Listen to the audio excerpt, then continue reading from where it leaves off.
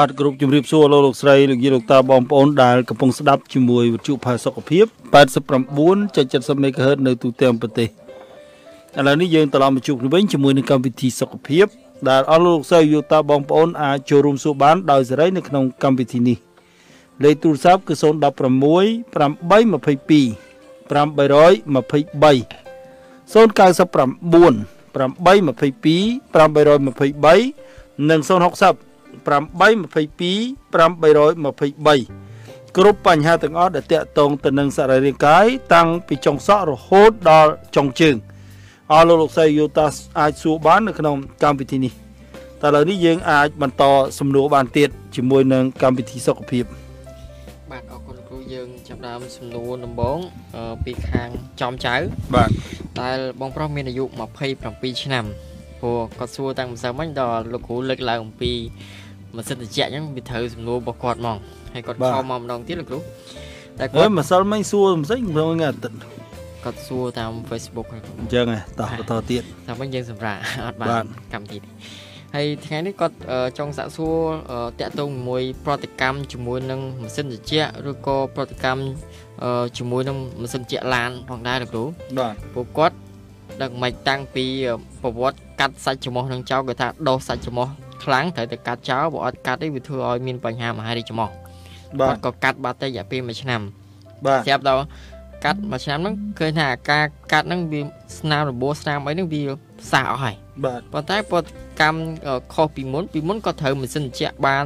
អីក៏បានដែរអាកាសធាតុចុះត្រជាក់ហ្នឹងក៏អត់សូវផ្ដាសាយក៏អត់សូវតឹងច្រមុះដែរ តែឥឡូវនេះនៅពេលដែលប៉ះម៉ាស៊ីនជាចាប់ដើមហៀសបោមកបាទចាប់ដើមឈួលចាប់ដើមងើងក្នុងច្រមុះហ្នឹងហើយមានស្រេះនៅកំពង់កនឹងទៀតបាទទី2គាត់ថាបើសិនជាអាហ្នឹងម៉ាស៊ីនជា office បើម៉ាស៊ីនជាឡានវិញគឺធ្វើឲ្យគាត់នឹងចេះទៅឧស្សាហ៍កដាស់ហើយឧស្សាហ៍ចាប់ខ្តុកខ្តុកនៅខ្ទង់ច្រមុះរបស់គាត់ហ្នឹងបាទអញ្ចឹងគាត់ចង់សាកសួរលោកថាការកាត់សាច់ម៉ងវាបាត់ប្រព័ន្ធអីមួយឬមួយក៏វាជាលក្ខណៈអីអីដែរ តាមពិតបើសិនជាយើងនិយាយប្រាប់ឲ្យច្បាស់ប៉ុន្តែគិតថាសាច់ច្រមុះហើយវាដោះណាបាទហើយទៅកាត់វាប៉ុន្តែសួរតើម៉េចបានសាច់ច្រមុះនោះវាដោះសាច់ច្រមុះតាមពិតអ្នកណាក៏មានសាច់ច្រមុះដែរបើអត់មានសាច់ច្រមុះទេអត់មានកន្លែងដោះរោមច្រមុះបើវាអត់កន្លែងដោះរោមច្រមុះទេ វាដូចជាមនុស្សដែលអត់មាន ឡានឬក៏ម៉ូតូអត់មានសម្បុកអេអញ្ចឹងអញ្ចឹងកាលណាអត់មានអាហ្នឹងវាអត់មានកន្លែងណាច្រោះខ្យល់ទេហើយបងឯងគិតថាខ្យល់នៅក្នុងបរិយាកាសនេះល្អណាស់ទៅមែនទេចឹងមកខ្ញុំលើកឡើងអំពីខ្យល់ម៉ាស៊ីនត្រជាក់មិញហ្នឹងណាបាទខ្យល់ម៉ាស៊ីនត្រជាក់គឺជាខ្យល់ដែលខ្វះអុកស៊ីសែនបំផុតនៅក្នុងហ្នឹងចឹងប្រសិនបើបងឯងរកទៅកាត់សាច់របស់នោះចោលបងឯងគិតថា តម្រងច្រោះខ្យល់ផងណៃមកឥឡូវអាហ្នឹងកាលណាយើងទៅកាត់សាច់ច្រមុះនឹងចោលតម្រងច្រោះខ្យល់របស់យើងបានន័យថាវាអស់លទ្ធភាពច្រោះហើយអញ្ចឹងនៅពេលណាដែលអត់មានអីច្រោះខ្យល់ធ្វើម៉េចចឹងខ្យល់ចូលទៅសួតវាធ្វើឲ្យប៉ុនឯងមានបញ្ហាផ្ដាសាយវាធ្វើឲ្យប៉ុនឯងមានបញ្ហាអាឡែកស៊ីចឹងអាហ្នឹងវាគឺជាសត្វចរមាត់បាទវាអញ្ចឹងណាតែសារតែយើងទៅកាត់សាច់ច្រមុះនឹងចោលតាមពិត អ្វីដែលធ្វើឲ្យយើងមានបញ្ហា គឺការរលាកសាច់ច្រមុះការរលាកសាច់ច្រមុះវាបណ្ដាលមកពីកត្តាសំខាន់ពីរកត្តាខាងក្នុង និងកត្តាខាងក្រៅកត្តាខាងក្រៅអាចកើតឡើងហើយប្រសិនបើបងឯងស្ថិតនៅកន្លែងលក់ចាប់ហួយកន្លែងគេផ្សារដែកអូលក់គ្រឿងសំណង់អូបងឯងដើរយកផ្សែងឡានផ្សែងម៉ូតូនេះ ឬក៏យើងរស់នៅចិត្តលូទឹកស្អុយដីថ្លៃកន្លែងហ្នឹងអាចិត្តលូទឹកស្អុយហ្នឹងដីថ្លៃទៀតណាមិនគ្រូតាឥឡូវហ្នឹងដើរហិតផ្សាយគេងាយលក់ឲ្យទៀតណាបើឥឡូវមានឥឡូវហ្នឹងកាលណាយើងទៅដល់ទីក្រុងបាងកកយើងបានហិតផ្សាយដោយសេរីអញ្ចឹងណាព្រោះអត់មានខ្យល់អីក្រៅវាផ្សាយឡានហ្នឹងទេទៅដល់ក្រុងបាងកកនោះបាទបាទអញ្ចឹង យើងទៅយកកាលណាយើងទៅចិត្តអស់ហ្នឹងយើងទៅយកអាហ្នឹងមកវាធ្វើឲ្យយើងមានបញ្ហាប៉ុន្តែមួយរយៈទៅអាហ្នឹងយូរយូរម្ដងអីចឹងណាបាទគ្រូហើយជាពិសេសណែនៅក្នុងបន្ទប់យើងនេះដែលវាធ្វើឲ្យមានបញ្ហាធំ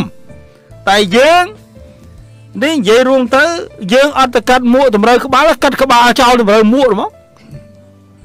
តាមពិតអ្នកដែលធ្វើឲ្យយើងកដាស់នឹងបន្ទប់យើងហ្នឹងណាណែ អាអាខ្យល់ក្នុងបន្ទប់នោះវាអត់ល្អវាមានអាមេរោគបាក់តេរីនៅក្នុងហ្នឹងវាធម្មតាបន្ទប់ដេកឥឡូវរាល់ថ្ងៃបន្ទប់ទឹកក៏នៅហ្នឹងអាអាស្បែកជើងពាក់ហើយស្អុយក៏នៅហ្នឹងបាទគាត់ខាអាខោអាវ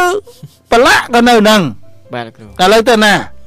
អាខោអាវនោះស្មានល្អណាស់ហេកាគេគក់សដាក់មួយថ្ងៃមួយថ្ងៃអេគេគក់ដាក់ទឹកអូបមិនថាអត់គក់នោះជិះម៉ូតូទៅណាខ្លះបាទគ្រូជិះឡានទៅណាខ្លះ នៅក្នុងឡានគេមិនសឹកអីហ្មងទេជិះម៉ូតូមួយថ្ងៃកាត់លូទឹកស្អុយហ្មងដងណែអាមេរោគនៅក្នុងលូទឹកស្អុយហ្នឹងក៏វាតោងជាប់ខោអាវមកដែរអញ្ចឹងនៅពេលណាដែលវាតោងជាប់ខោអាវមកយើងយកវាមកដាក់ផ្ទះយកវាមកដាក់ផ្ទះមុនដំបូងវាចេញឲ្យរួចហើយវាជាប់យើងដល់ទៅពេលដាក់ទៅដល់ម៉ាស៊ីនត្រជាក់ទៅដង្ហាលគេស្ងួតញ៉ាគេចាប់ដើមលូនចាញ់ហ่ะតែលូនចាញ់យើងធ្វើម៉េច ណែអាមេរោគនៅបាក់តេរីដែលវាមាននៅក្នុងបន្ទប់ហ្នឹងដែលវាបង្កផលប៉ះពាល់អវិជ្ជមានដល់ច្រមុះហ្នឹងហើយមិនសុកចិត្តទៅកាត់ច្រមុះចោលអត់កាត់សាច់ច្រមុះចោលបាទដល់អញ្ចឹងយើងធ្វើម៉េចឲ្យមានបញ្ហាចឹងហើយព្រោះយើងទៅកាត់សាច់ច្រមុះហ្នឹងចោលទី2ការមានបញ្ហារលាកសាច់ច្រមុះគឺដោយសារតែអតិពលនៃខាងក្នុងខាងក្នុងយើងហ្នឹងគឺបញ្ហាកាពះពោះវៀននឹងឯង នៅពេលណាដែលអាស៊ីតកាពះវាកើនមានការកើនឡើងវាធ្វើឲ្យឈួលឡើងមកលើនៅពេលណាដែលយើងគេងយប់សួរតែគេងយប់មិនបានអាស៊ីតកាពះវាឈួលឡើងវាធម្មតាកាលណាដកដង្ហើមតាមច្រមុះមិនរួចគេប្រហើបមាត់ហើយហើយបើយើងមិនចង់ប្រហើបក៏វាហើបដែរ ព្រោះសត្វចានុម័តអញ្ចឹងកាលណាសួតវាមានខ្យល់អុកស៊ីហ្សែនឲ្យគ្រប់គ្រាន់វាធ្វើមេតាបូលីសនៅក្នុងរាងកាយបំបែកសារធាតុអត់បានអញ្ចឹងវាត្រូវយកមាត់មួយទៀតជំនួយប៉ុន្តែខ្យល់ដែលចូលតាមមាត់ជាខ្យល់ដែលមិនមាន ការច្រោះត្រឹមត្រូវទេប៉ុន្តែគ្រាន់បើជាងអត់បាទគ្រូអញ្ចឹងនៅពេលណាដែលយើងហាមាត់ដកដង្ហើមចូលចាក់ចេញហ៎មិនមកជាមួយគ្នាអាស៊ីតកាពះហ្នឹងអញ្ចឹងធ្វើឲ្យ ច្រមុះហ្នឹងរលាកកាលឡើងអញ្ចឹងនៅពេលណាដែលសាច់ច្រមុះរបស់យើងរលាកយើងអត់ព្យាយាមក្នុងការអង្កេតនិងព្យាបាលសាច់ច្រមុះទេយើងទៅឲ្យគេកាត់